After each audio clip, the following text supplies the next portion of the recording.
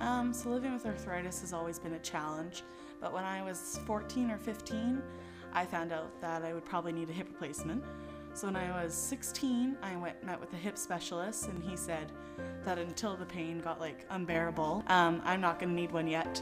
But I always think about like down the road, like at what age I'm gonna get it, and what age I can kind of put all this behind me and stuff, and like if I get it during school or when I'm gonna graduate, and if I want to travel or and like they only last for about 20 years.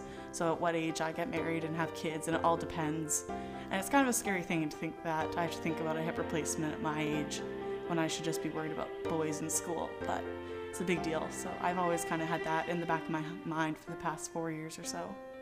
Um, when i was at camp this year as a counselor i actually met a girl my age who I've always heard about her name, and uh, she had a hip replacement last year, and she just got another one this year.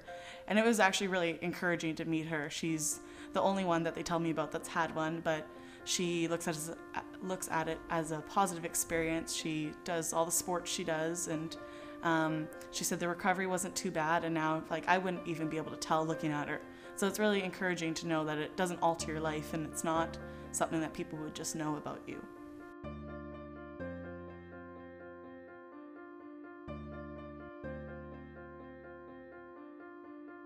I truly think that in this day and age, we can use the word cure very tentatively.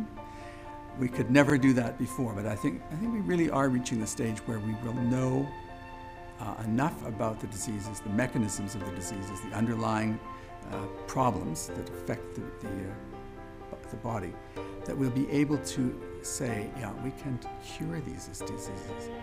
I hope that's true. I think it's going to be true.